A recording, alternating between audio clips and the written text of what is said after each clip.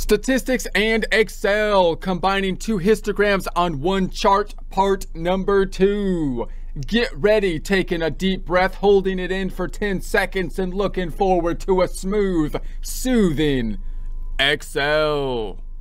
First, a word from our sponsor. Yeah, actually, we're sponsoring ourselves on this one because apparently the merchandisers, they don't want to be seen with us. But but that's okay, whatever because our merchandise is, is better than their stupid stuff anyways. Like our Accounting Rocks product line. If you're not crunching chords using Excel, you're doing it wrong. A must-have product because the fact, as everyone knows, of accounting being one of the highest forms of artistic expression means accountants have a requirement, the obligation, a duty to share the tools necessary to properly channel the creative muse. And the muse, she rarely speaks more clearly than through the beautiful symmetry of spreadsheets. So get the shirt, because the creative muse, she could use a new pair of shoes. If you would like a commercial-free experience, consider subscribing to our website at accountinginstruction.com or accountinginstruction.thinkific.com. Here we are in Excel. If you don't have access to this workbook, that's okay because we basically built this from a blank worksheet. However, we started building it in a prior presentation starting with just our data set. If you do have access to this workbook, three tabs down below, example, practice blank, example, in essence, answer key, practice tab, having pre-formatted cells on it so you can get right to the heart of the practice problem. The blank tab is where we started with just our data set so we can practice formatting cells within Excel as we work through the practice problem. So in prior presentations, we took our data set, which is related to heights, we made a table out of it, we created a histogram with it, which has a pretty nice bell-shaped type of curve to it, given the fact that we're dealing with heights, which you would expect would have a nice kind of center point and then taper off and in this type of format. And we have a pretty large data set that we are drawing from. Then we wanted to get to the point where we can have two data sets on one chart, two bell curves or two histograms.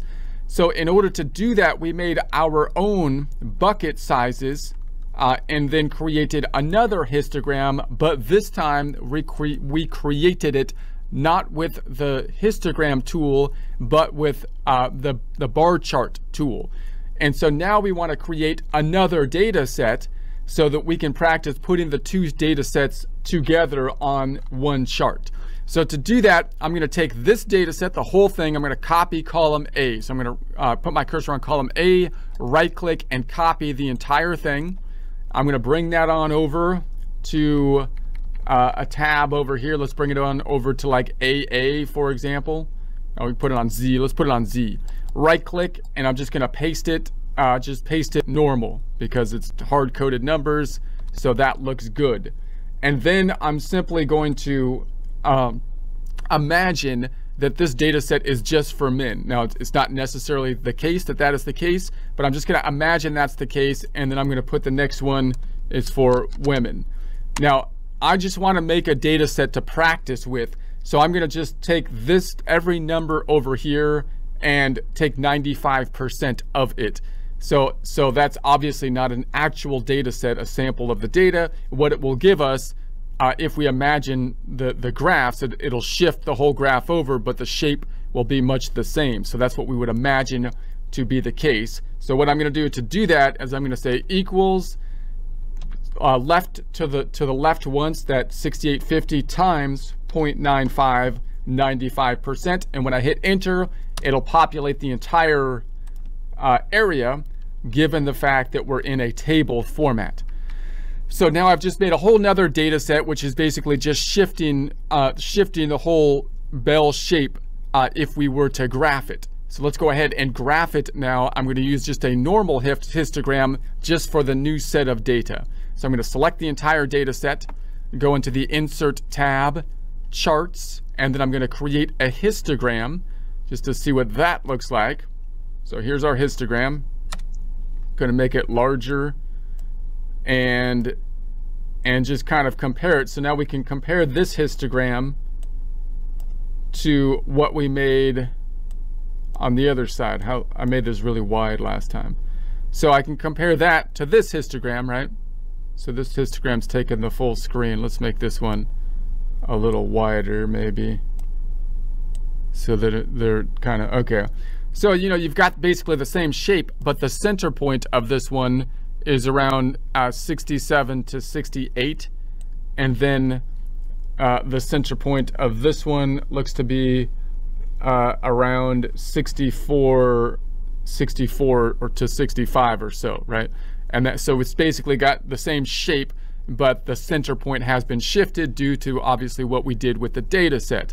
Now, the other kind of issue that we run into is that the buckets might be different, right? So if I look at the bucket sizes over here, then obviously uh, Excel is going to choose a different bucket range to try to optimize the buckets. So it had a 0.23 difference and 65 buckets. If I go onto this chart, where let's check it out. I'm going to click down here. This one's got a 0.22 difference. So I'd like to make that bucket size difference like the same. So I'm going to go into the bin width and I'm going to make this 0.23 just to have the, the, the distance from the buckets the same. So now, now you've got kind of the width or, or the, you know, the, how, how far apart the buckets are from 60 to 60, 48, 60, 25 to 60, 48 is the same distance as these buckets. The buckets aren't exactly the same, but you know we have similar kind of buckets which will be make it more comparable.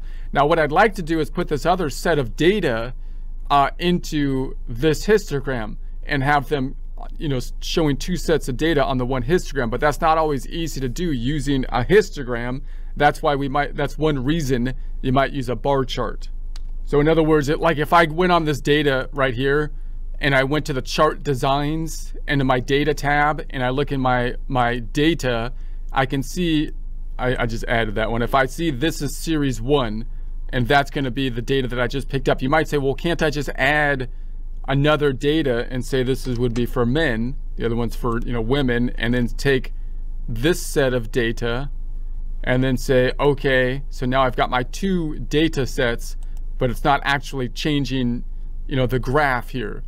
So, so one way I can do this is try to is try to use is make this into my buckets again. So we did this before. We made our buckets. Now, what I'd like to do is have the exact same buckets that I have over here on, on this side as well and just extend the buckets so that they also include what needs to be included for the new data set, which is going to go down uh, possibly lower on the lower end. So let's go, let's go ahead and see if we can copy this. I can copy these.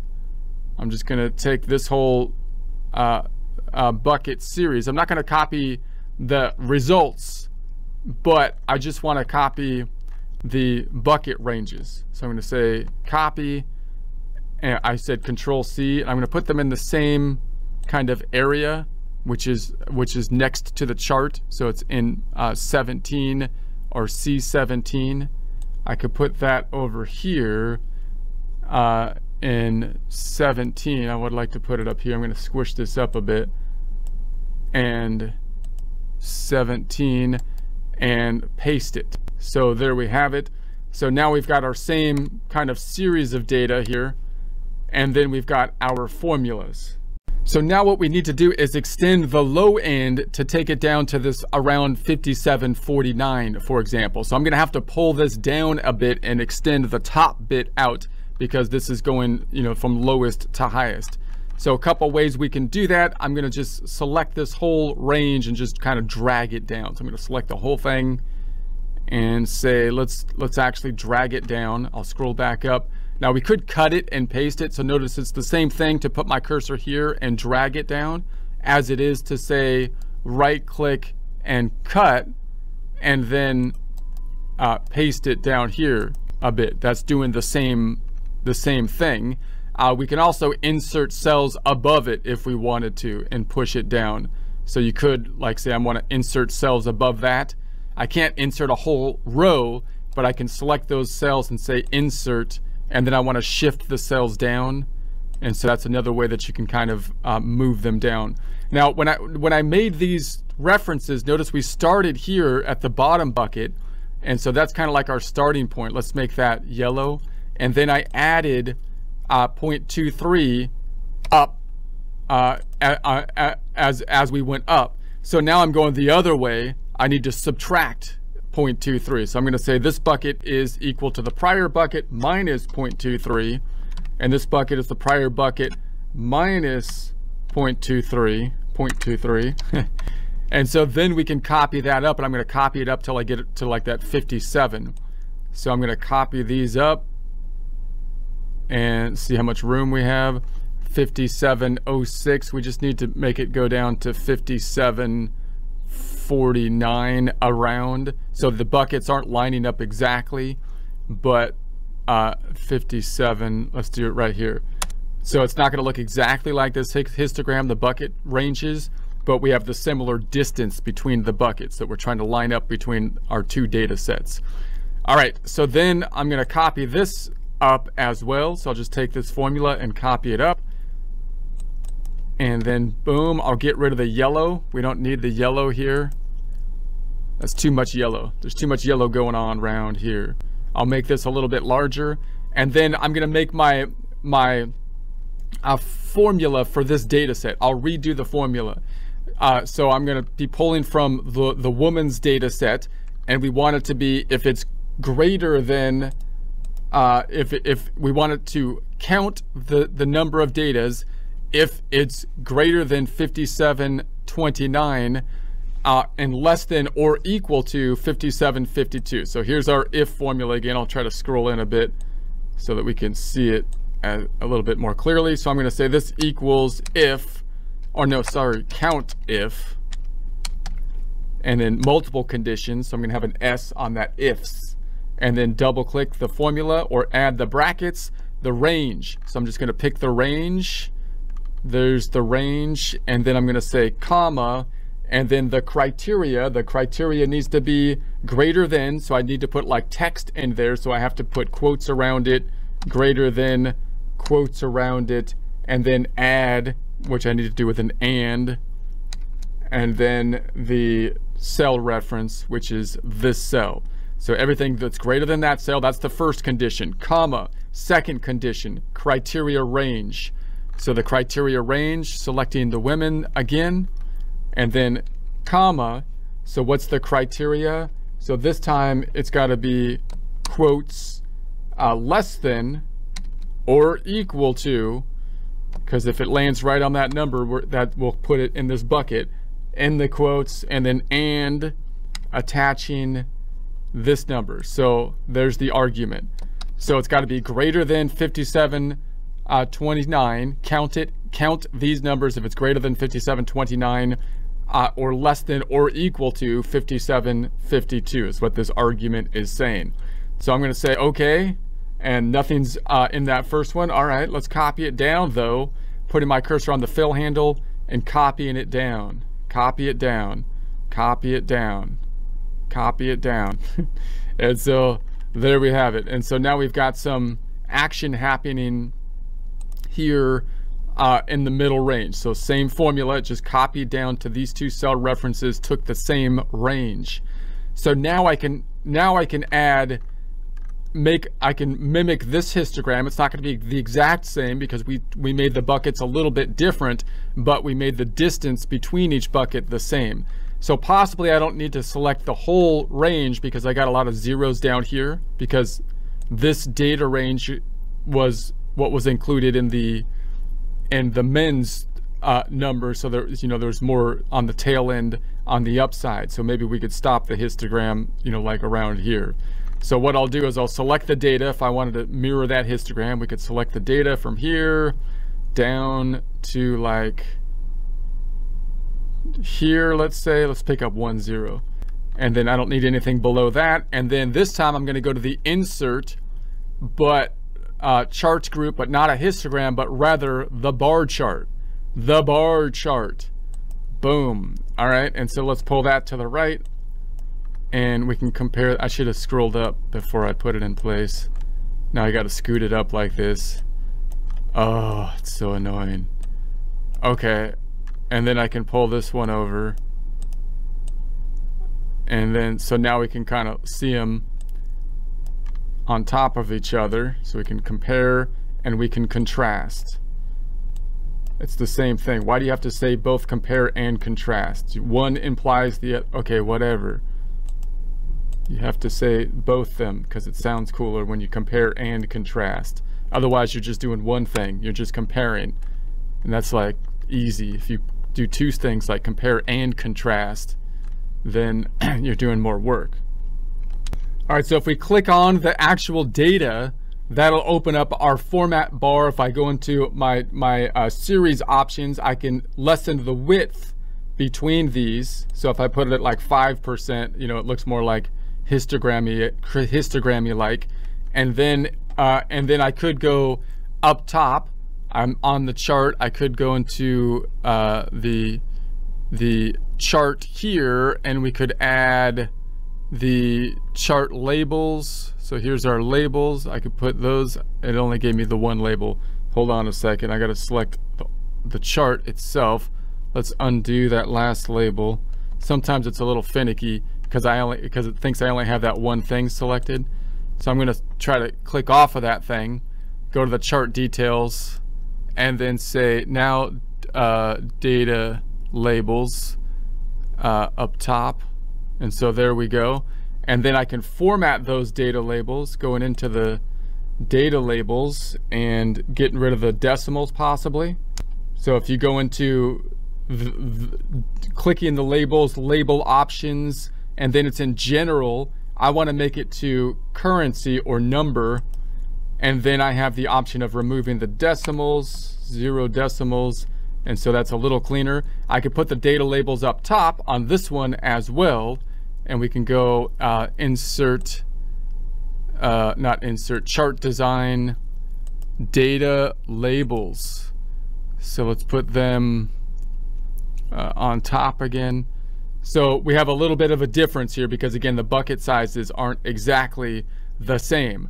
But the point is here now I can take I can take uh, these two data sets and basically combine them together on one chart, which is obviously super cool, something that you know everyone's looking forward to, but we're running long on time, so we'll do it next time. So stay tuned uh, and come back next time when we'll put them together. So I'm gonna make this a little bit smaller. Let's clean it up while we're here before we do that.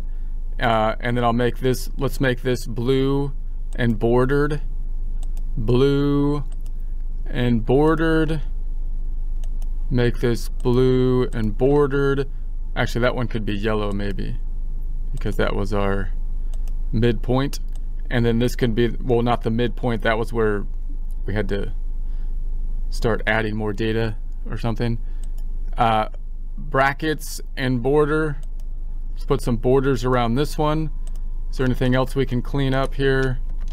We might, the Y column. Why is the Y so wide? Is what I want to know. Why is the Y so wide? Let's, let's make it smaller. We need a skinny Y. A skinny Y. Why? Because it's too wide and then we're going to go down here and say if the if the it's we're looking at height data for a height of that height it shouldn't be that wide for that tall for that height the width should be less on average home tab uh, font group let's put a, a blue and borders around this one so that looks good MUI B to the N. All right, so next time we'll, uh, com we'll combine the data and we'll see what happens if I combine all the data in one histogram versus, you know, if I if I try to put the two data sets like side by side on a histogram.